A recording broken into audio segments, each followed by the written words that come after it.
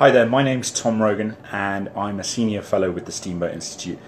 I just wanted to encourage uh, all of you, the very fine supporters uh, of the Institute, uh, to consider giving tomorrow. Uh, up to $10,000 uh, will be matched uh, by two of our long-time supporters. so it's a great time to give, and you know Colorado is leading the way in terms of trying to promote this kind of thing, and, and you know I hope you might consider getting behind it.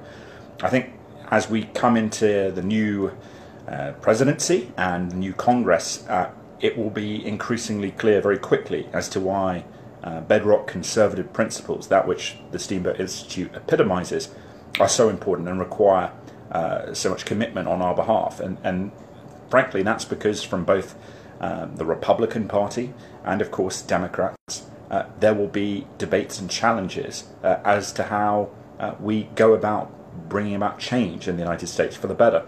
Uh, and, and that's going to require our, uh, our adherence to these values and our commitment uh, to the kind of debates and policies uh, that we believe uh, conservatism should stand for.